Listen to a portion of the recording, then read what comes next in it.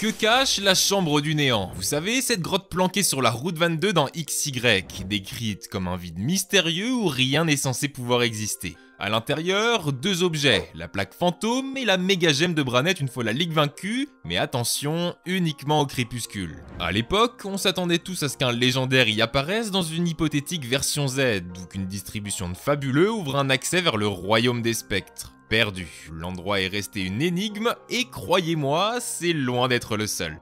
Le secret des ruines alpha. Je m'en souviens comme si c'était hier. Premier badge en poche, tour chétiflore vaincu, je quitte Mauville, des étoiles plein les yeux, et je tombe là-dessus. Plusieurs grottes où se baladent des touristes, sur un mur un puzzle de Kabuto, si on le reproduit une trappe souffle sous nos pieds, une salle cachée, et après quelques pas...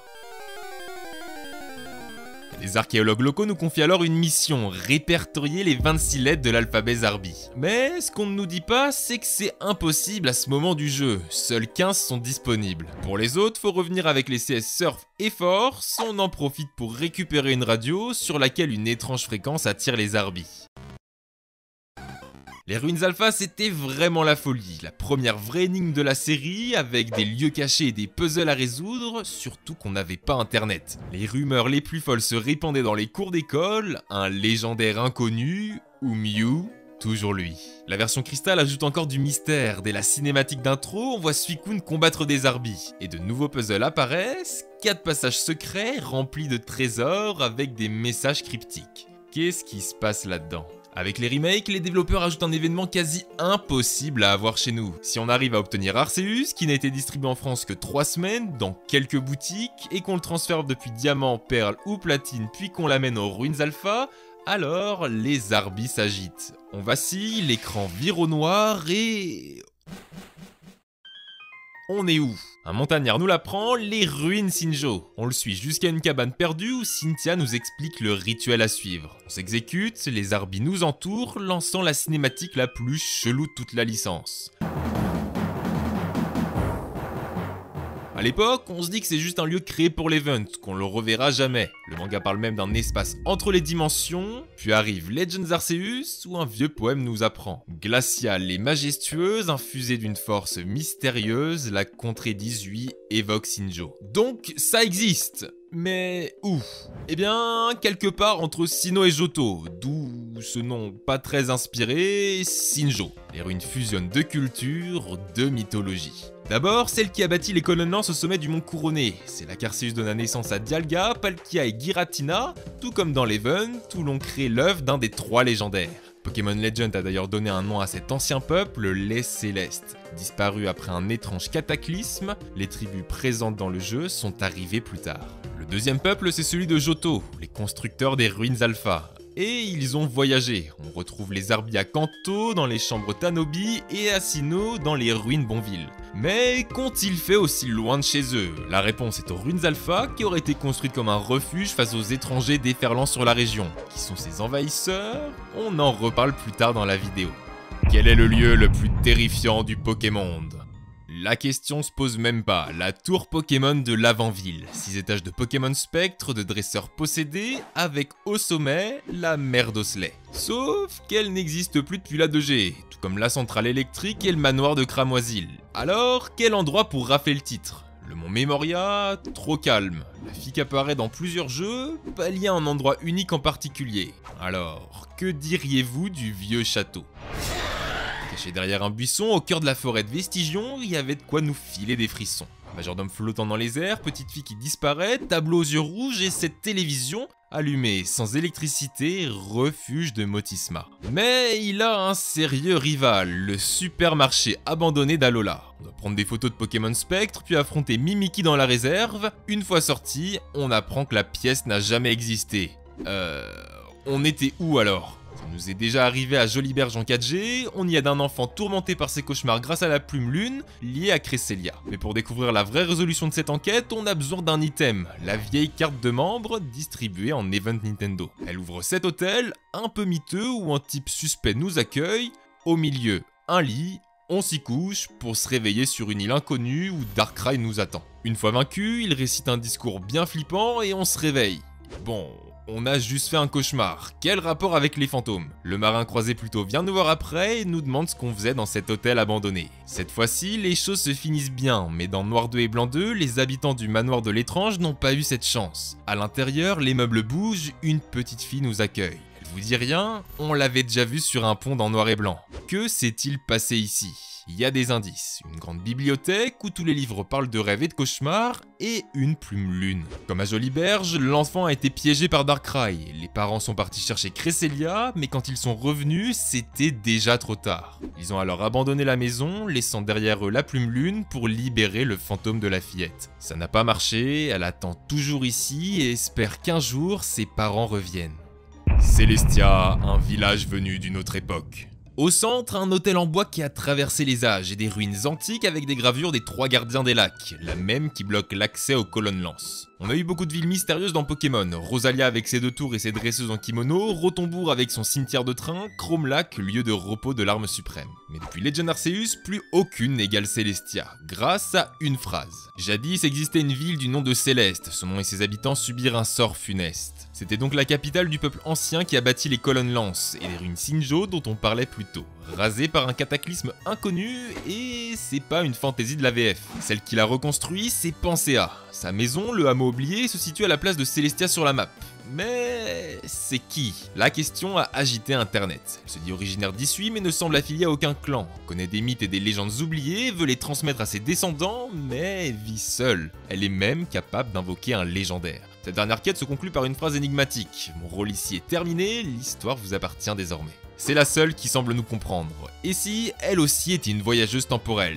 Pas n'importe qui, Cynthia, venue dans le passé pour transmettre les légendes qu'elle a apprises de sa grand-mère à son ancêtre. La boucle est bouclée. Ça aurait pu échouer, les histoires se déforment au fil des générations, d'où son soulagement aux ruines brumeuses, voyant que tout est vrai. Mais alors, comment a-t-elle voyagé à cette époque? L'hôtel en bois au centre de Celestia, très ressemblant à celui de l'Even 2G de Celebi, sauf qu'il n'a rien à faire ici. Pas plus que les ruines au centre du village, les deux sont absents dans le Legend Arceus.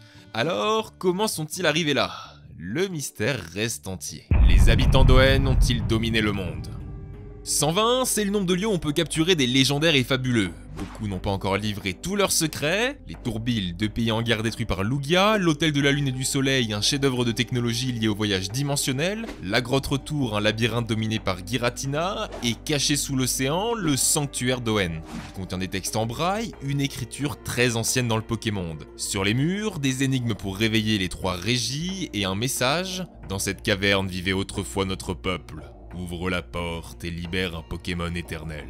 Attendez, Regigigas? Mais il est absent dans les versions originales. Sa première apparition c'est en 4G au temple de Frimapic. On découvre plus tard qu'il y en a deux autres, à Unis et à Galar. L'architecture de ces trois ruines se ressemble d'ailleurs pas mal, semblant indiquer qu'une seule et même civilisation les ont construites. Sauf que, aucune trace de l'écriture braille, juste des trous sur les murs, sans doute les yeux des régies. Pour résoudre cette énigme, faut retourner à Johto, s'intéresser à ce lieu qu'on vous a teasé plus tôt, la tour enfouie, où se cachent Groudon, Kyogre et Rayquaza. La légende parle d'une tour qui s'enfonce dans la terre et se dresse jusqu'aux nuages pour relier terre, mer et ciel. Ça nous rappelle le pilier céleste, construit par le peuple météore d'Oen, dont le sommet ressemble à l'hôtel des ruines Sijo. Et si c'était eux qui avaient envahi Johto, forçant les bâtisseurs des ruines alpha à fuir, avant de les poursuivre, en quête d'hérégie à sceller à travers le monde pense même connaître l'endroit de leur premier contact, les îles Séville à Kanto. C'est l'endroit où écriture braille et Zarbi coexistent. Les habitants d'Owen sont installés au Mont Braise et au Trou Percé et laissent derrière eux un saphir et un rubis, supposément utilisés pour communiquer à longue distance. L'énigme s'épaissit si on rajoute la tour Dragospire, lieu où ont été scellés Reshiram et. Piliers rappellent les colonnes lances et les temples des régies. Mais sa forme évoque plus la tour enfouie de Johto. Ajoutons que le peuple du météore vénère lui aussi des dragons, alors, invasion, migration, évolution commune? Beaucoup de mystères dont on vous reparlera dans nos futures vidéos, mais vous ne risquez de ne jamais les voir. Et eh ben oui, 65% d'entre vous n'ont toujours pas rejoint l'aventure Pokémon Trash. Alors abonnez-vous et activez la cloche pour ne rien louper. Olon, la ville oubliée des Pokémon mutants. Comment ça, des mutants Oui, les espèces Delta, ayant un type différent des Pokémon originaux, l'ancêtre des formes régionales. Ça vous rappelle un fangame C'est vrai que ça ressemble beaucoup au scénario de Pokémon Insurgence. Mais ça a officiellement existé, en 2006, dans le jeu de cartes à collectionner. 4 extensions avec plusieurs Pokémon exclusifs, comme ce drac au feu électrique. Elles étaient accompagnées par des textes promotionnels avec un vrai lore derrière. Des chercheurs pourchassent Mew dans une région inconnue, y fondent une ville Olon avec en son centre une gigantesque tour. À son sommet, un générateur d'ondes électromagnétiques censé agir comme un radar pour localiser leur cible. Mais ça se passe pas comme prévu. La zone possède un puissant champ magnétique, phénomène mystérieux déjà observé dans les jeux principaux. Sur le mont couronné ou Arceus ou dans la grotte électrolyte d'Unis, liée à l'évolution de Tarinor et Magnéton. Les ondes entrent en résonance avec cette anomalie, provoquent des tempêtes magnétiques et des mutations génétiques, donnant naissance aux espèces delta. Comme le Léviator Shiny en 2G, on en a un à Olon. Il est shiny et de type feu, ça explique sa couleur rouge. La région est gigantesque, lacs, îles, forêts, montagnes, on trouve même des grottes avec des motifs mystérieux sur les rochers, peut-être une ancienne forme d'écriture. À l'intérieur, des Pokémon fossiles qui eux aussi ont muté. Mais la plus grande énigme, c'est l'île mystérieuse. Ouais, bon, euh, ils sont pas foulés sur le nom. On y trouve des cristaux géants conférant aux Pokémon de puissants pouvoirs. Teasing du Terra Crystal On adorerait voir la région débarquer dans les jeux, au moins dans un spin-off style Legend. On y chercherait l'origine de ces étranges phénomènes naturels et découvrirait des Pokémon mutants inédits. Le plus grand mystère de la 9G.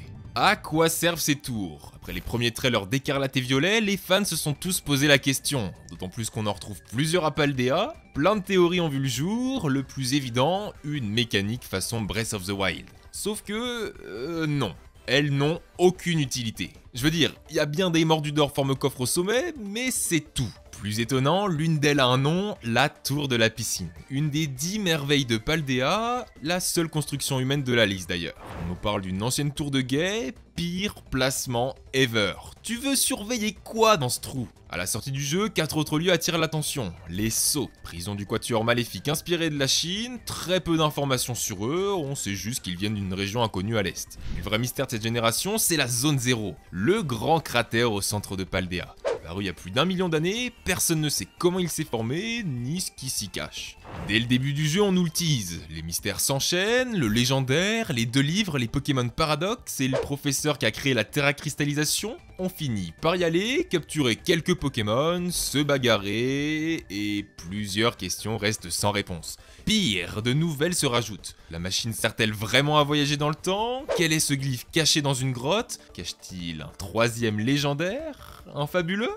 Autant d'énigmes que les DLC pourraient résoudre. Nous, on mise sur un scénario autour des extraterrestres et de la fusion. On en a parlé dans cette vidéo. Ça collerait avec d'autres mystères qu'on pourrait bientôt voir ressurgir, ceux de la 5G. Quel rapport Kyurem. La légende nous dit qu'il serait tombé sur Terre dans une comète, formant les grottes cyclopéennes.